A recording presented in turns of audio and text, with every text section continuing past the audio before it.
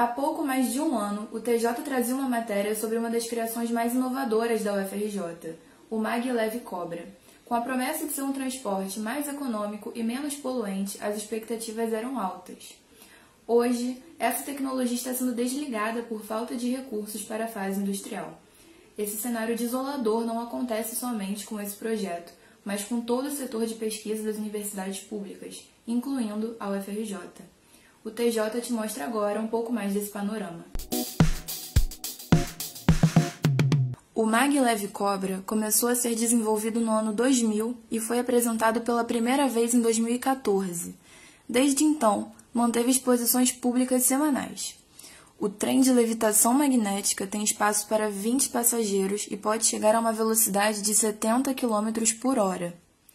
Ao todo, foram 17 milhões de reais investidos no maglev. O custo de implantação do maglev, quando eu comparo com VLT, BRT, o nosso custo é da ordem de um VLT. Efetivamente, o Maglev Cobra pode voltar a botar o Brasil para funcionar. Eu só preciso de 10 milhões né, de dinheiro, de recursos que funcionariam como óleo.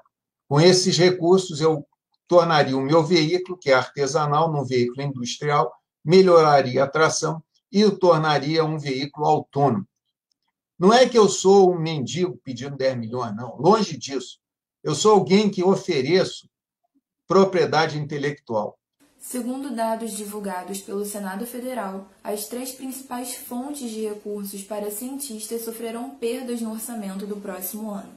Os investimentos vão diminuir na coordenação de aperfeiçoamento de pessoal de nível superior, a CAPES, que concebe bolsa a 100 mil pesquisadores, no Conselho Nacional de Desenvolvimento Científico e Tecnológico, CNPq, responsável por financiar 80 mil bolsistas, e no Fundo Nacional de Desenvolvimento Científico e Tecnológico, FNDTC, que já financiou 10 mil projetos de pesquisa, desenvolvimento e inovação. Reunindo os recursos orçamentários do CNPq, da CAPES e do FNDTC, é possível observar grande queda de investimento nos últimos quatro anos. No ano 2000, o valor destinado a essas entidades era de 4,08 bilhões de reais, tendo leve alta para 4,52 bilhões em 2005.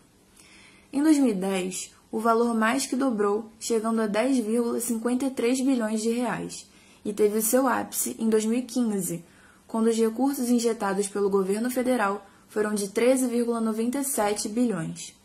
No entanto, este valor sofreu uma queda gigantesca de 8,97 bilhões e chegou a 5 bilhões de reais esse ano. Além disso, o Brasil destina somente 1,3% do seu PIB para pesquisa científica, porcentagem muito pequena se comparada a países como Coreia do Sul e Japão. Durante a pandemia, a falta de investimento também foi sentida. O país destinou 0,1 bilhão de dólar para a pesquisa de combate à Covid-19 enquanto os Estados Unidos dedicou 6,1 bilhões de dólares em novas verbas para essas pesquisas.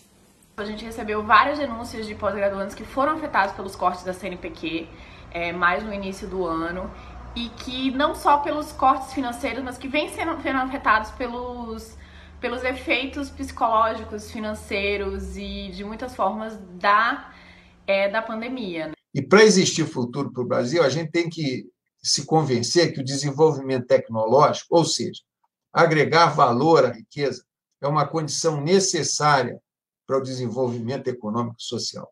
Isso é muito chato, a gente tem que estar defendendo o óbvio. Em resposta ao TJ, a Pró-Reitoria de Pós-Graduação e Pesquisas da UFRJ declarou que esse ano, em particular, a UFRJ destinou parte dos recursos arrecadados via CIP, custo indireto de projetos, para o edital Antônio Luiz Viana, que busca contemplar projetos de professores recém-doutores.